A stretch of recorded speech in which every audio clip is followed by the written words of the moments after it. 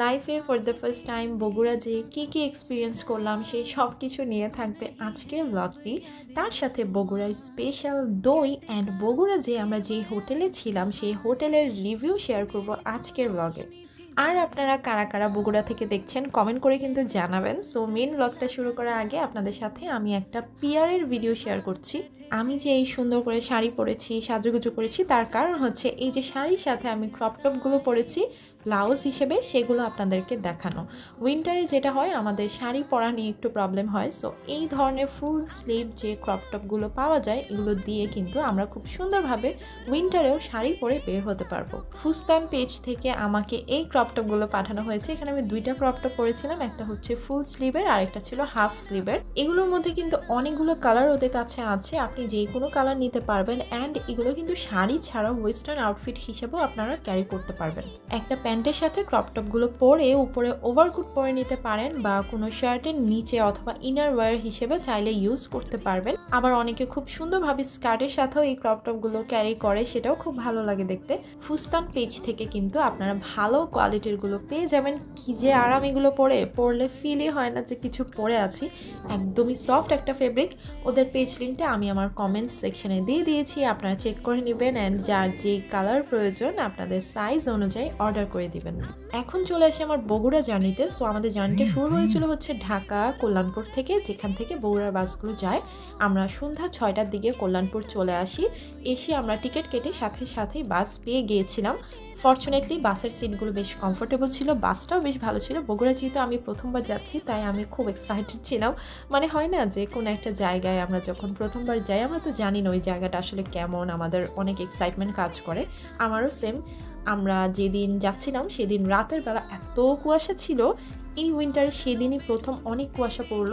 এত বেশি কুয়াশা ছিল যে আমি বাসের জানালা দিয়ে কিছুই দেখতে পাচ্ছিলাম না। পাশ দিয়ে যে অন্য বাসগুলো যাচ্ছে, আমি সেই বাসগুলো দেখতে পাচ্ছিলাম না। এত বেশি কুয়াশা এত কুয়াশায় কিন্তু রাস্তায় চলাফেরা খুবই রিস্কি আমি তো শুধু দোয়া পড়ছিলাম আল্লাহ যেন আমাদেরকে সেফলি পৌঁছায়। কারণ ড্রাইভার যিনি, উনিও বলছিল উনি নাকি আন্দাজ করে গাড়ি চালাচ্ছে। মানে সামনে কিছুই দেখা যাচ্ছিল না লিটারেলি পরে আমাদেরকে একটা জায়গায় ব্রেক দিল থার্টি মিনিটসের ব্রেকে আমরা একটু কফি আর স্যান্ডউইচ খেলাম। দুইটাই অনেক বাজে ছিল, হোটেলটাই ভালো ছিল না, এখানে কোনো ডিনার আইটেম ছিল না, তখন একদমই ডিনার টাইমটাই ছিল।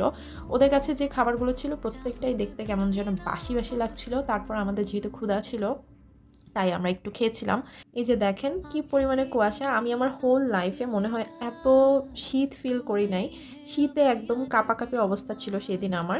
দেন ব্রেকের পর আমাদের আরও এক দেড় ঘণ্টা লেগেছে বগুড়া পৌঁছাতে। ওই এক দেড় ঘন্টায় আমরা যেটা করেছি, আমরা বাসে বসে হোটেল বুক করে ফেলেছিলাম। কারণ তখন হচ্ছে সাড়ে বারোটা বাজে আর আমরা ঢাকা থেকে হোটেল বুক করেও আসিনি। তাই আমরা টেনশনে পড়ে গিয়েছিলাম যে এত রাত হয়ে গেছে, কোনো হোটেল খোলা থাকবে কিনা? বাট লাকিলি আমরা একটা হোটেল পাই অ্যান্ড একটা ভালো হোটেলই আমরা পেয়ে যাই। আমরা ফার্স্টে ভেবেছিলাম যে আপাতত আজকে রাতের জন্য যে কোনো একটা হোটেল পেলেই হবে। দেন কালকে সকালে উঠে আমরা আমাদের পছন্দ মতো দেখে চেঞ্জ করে ফেলব। হোটেলসের ক্ষেত্রে আমার রিকোয়ারমেন্ট একটাই জাস্ট একটাই, সেটা হচ্ছে ক্লিন হতে হবে। নোংরা হোটেলে আমি থাকতে পারব না। রুম ছোট হোক, জিনিসপত্র কম হোক but it should be clean and guess what? Very luckily আমি আমার একটা পছন্দ মতো হোটেল পেয়ে যাই। হোটেলটা বগুড়া শহরে যারা থাকেন, তারা চিনবেন। নাম ছিল হচ্ছে Shyamoli royal inn. To be honest আমার কাছে ওদের সার্ভিস অ্যান্ড এভরিথিং অনেক ভালো লেগেছে অ্যান্ড মোস্ট ইম্পর্টেন্টলি প্রাইস অনুযায়ী খুবই ভালো ছিল। আমরা এখন যে রুমটাতে উঠেছি, এই রুমটা পার নাইট ছিল মাত্র দুই হাজার টাকা, যেটা আমার কাছে কনভিনিয়েন্ট মনে হয়েছে অ্যান্ড নেক্সট ফাইভ ডেজ কিন্তু আমরা এই হোটেলটাতেই স্টে করেছি বিকজ আমাদের কাছে ভালো লেগেছে থেকে। রুমটা অনেক বড় ছিল ওয়াশরুমটাও অনেক বড় ছিল এসি টিভি ক্যাবিনেট সোফা একটা কিং সাইজের বেড সব কিছুই ছিল। আমি তো রুমটা দেখে অনেক খুশি হয়ে গিয়েছিলাম, কারণ আমি খুবই টেনশনে ছিলাম যে এত রাতে এসেছি, ভালো হোটেল পাবো কি না আসার পরেই আমরা একটু ফ্রেশ ফ্রেশ হয়ে টিভি দেখছিলাম, আর এদিকে ইমরান হচ্ছে একটু বাইরে গিয়েছিল ডিনার নিয়ে আসার জন্য। দেনেই তো সকাল হয়ে গিয়েছে। রাতে যেহেতু একটু লেট করে ঘুমানো হয়েছে, তাই আমরা একটু লেট করেই উঠেছিলাম। উঠে রেডি হয়ে আমরা ব্রেকফাস্ট করতে যাব এখন।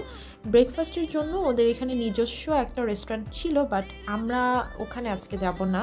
আজকে আমরা ভেবেছিলাম যে আকবরিয়াতে যাব, কারণ আকবরিয়ার নাম শুনেছিলাম। বগুড়ায় ওরা খুবই ফেমাস একটা hotel, Akbaria grand hotel. Next five days maximum time আমরা ওদের হোটেলে খেয়েছি। বগুড়া অ্যাকচুয়ালি আসা হচ্ছে ইমরানের অফিসের কাজে, যেহেতু পাঁচ দিনের জন্য আসা হয়েছে, তাই ও আমাকে নিয়ে এসেছে আর কি। কোনো ঘোরার প্ল্যান করে আসা না বাট আমার জন্য এটা একটা রিল্যাক্সিং ট্রিপ ছিল, কারণ ও তো ওর কাজ করেছে, আর আমি হোটেলে সারাদিন ঘুমিয়েছি, খেয়েছি, আরাম করেছি। নর্মালি কি হয়, কোথাও যদি আমরা ঘুরতে যাই ট্যুরে যাই, তখন যেটা হয়, ঘোরাটাও কিন্তু একটা প্যারা। আপনার রেডি হতে হয়, ঘুরতে হয়, ছবি তুলতে হয় আরও অনেক কিছু থাকে। বাট বগুড়ায় যে আমার এত রিল্যাক্স ফিল হয়েছে, মনে হয়েছে আমার কোনো কাজই নেই, শুধু আরাম আর আরাম। তো এই আকবরিয়া হোটেলে খাবারগুলো মজার ছিল অ্যান্ড সামনে যে ওদের ফাস্টফুড আইটেমগুলো বিক্রি করছে এগুলো খুবই আই ক্যাচিং ছিল। মানে থাকে না যে কিছু খাবার দেখে চোখের ক্ষুধা, তো আমার আবার চোখের ক্ষুধা অনেক বেশি। আমি প্রতিদিনই এসে কিছু না কিছু এখান থেকে কিনে নিয়ে যেতাম রুমে বসে খাওয়ার জন্য। তবে ঢাকার তুলনায় আমার কাছে মনে হয়েছে বগুড়ায় খাবারের দাম একটু বেশি। আমার কাছে না খুব ভালো লেগেছে বগুড়া শহরটা। সব কিছু তো ঢাকার মতোই, কিন্তু ঢাকার মতো গ্যাঞ্জাম নেই, জ্যাম, গ্যাঞ্জাম এগুলো ছাড়া তো যে কোনো শহরেই দেখতে ভালো লাগে। আমরা যেই হোটেলে উঠেছি, শ্যামলী রয়্যাল ইন, আমাদের হোটেলটা ঠিক উল্টো পাশে ছিল আকবরিয়া গ্র্যান্ড হোটেল। তারপর এখান থেকে আমরা খাওয়া দাওয়া শেষ করে হোটেলে ব্যাক করেছি। ব্যাক করে দেখলাম যে আমাদের পাশের রুমটার দরজা খোলা অ্যান্ড দরজা খোলা দেখলে যেটা হয়, মনে হয় যে একটু দেখে আসি যে ওই রুমটা কেমন। তারপর দেখি কি ওখানে কারও ফুল সজ্জা হয়েছিল, অনেকগুলো ফুল পড়ে আছে নিচে। মেবি লাস্ট নাইটে হয়েছিল। তারপর আমরা এখানে কিছুক্ষণ হাঁটাহাঁটি করছিলাম, পাশের রুমগুলো দেখছিলাম। এটা ছিল হচ্ছে সেভেন ফ্লোর এখানে করিডোরটা থেকে পুরো একদম বগুড়ার যেই হচ্ছে সাত মাথা বলে জায়গাটার নাম সাত মাথার রাস্তাটা পুরো দেখা যায়। বগুড়ায় না আমি দেখলাম যে ওদের সাত মাথা তিন মাথা এক মাথা এরকম জায়গার নামগুলো। সব জায়গার নাম ওদের মাথা কেন হয় বলেন তো? এই মাথা দিয়ে জায়গার নাম রাখার স্টোরিটা কি? কেউ জানলে কমেন্ট করে জানাবেন।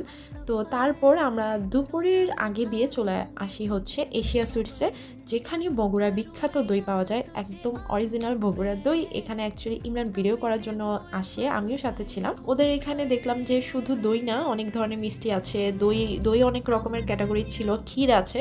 প্রচুর মানুষজন কিনছে, একদম ভিড় ছিল। ওনারা আবার আমাদেরকে অনেকগুলো মিষ্টি টেস্ট করার জন্য দিয়েছিল। মিষ্টিগুলো এত মজা ছিল, ওদের একটা স্পেশাল মিষ্টি ছিল যেটা হচ্ছে শুধু উইন্টারে হয়, খেজুরের রস দিয়ে বানানোর মিষ্টি। আমি প্রথমবার খেজুরের রসের মিষ্টি খেয়েছি অ্যান্ড খুবই মজার ছিল ডিফারেন্ট একটা টেস্ট ছিল।